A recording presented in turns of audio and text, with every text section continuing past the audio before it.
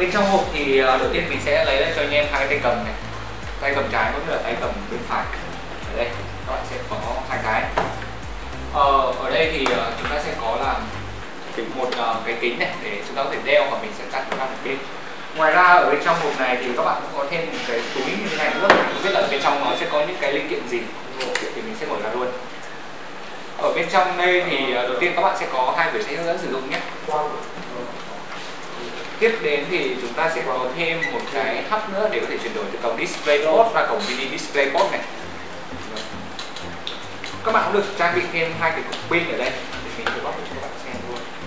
Hai cục pin ở đây như các bạn có thể thấy thì trong quá trình khi mình mở hộp thì hai cái cảm biến chuyển động nó đã hoàn toàn biến mất, không giống như ở trên bóng kính Oculus ờ, CV1 nữa. Thì ở trên kính thực tế ảo này thì các bạn sẽ có những cái cảm biến chuyển động, nó sẽ được đặt ngay ở trên phần ờ, kính thực tế ảo chúng ta luôn. Các bạn sẽ thấy nó có rất là nhiều những cái cảm biến được đặt xung quanh ở phần mặt trước cũng như là phần mặt sau này. Nó, chúng ta sẽ có tới tận là từ 5 cho tới 6 cái cảm biến chuyển động để chúng ta có thể, để nó có thể theo dõi được cái hoạt động thấu thị khi mà anh em chúng ta chơi những cái thực lên thực tế ảo và ngoài ra nữa thì với những cái cụm cảm biến chuyển động này thì nó cũng sẽ kiêm luôn là camera để các bạn có thể theo dõi được cái đường đi trong quá trình khi mà anh em chơi game. Đối với cổng kết nối thì nó đã được loại bỏ đi khá là nhiều rồi. Các bạn chỉ còn duy nhất ở đây là hai cổng kết nối, đó là DisplayPort cũng như là USB 3.0 mà thôi. Vậy nên thì à, nó sẽ tiết kiệm được cho các bạn cái không gian diện tích, nó không bị lằng nhằng quá nhiều như ở trên cái đeo hệ CP1 cũ nữa. Bây giờ thì mình sẽ tiến hành đeo thử để xem cái cảm nhận của mình. Khi mà đeo với chiếc ờ, kính này thì nó sẽ có bị ôm đầu như là nó có gây khó chịu như ở cái thế hay không nhé. Ok. Ở đây sẽ là hai cái cầm chúng ta.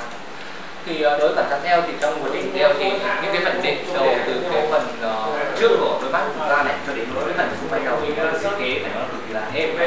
Hoàn toàn uh, cảm giác thấy nó khá là dễ chịu và mình cũng có thể có thể dễ dàng để điều chỉnh cái sức đầu của mình sau cái vòng từ sau này. Nó không bị quá là gò bó hay là khó điều chỉnh được đến cái cũng nữa.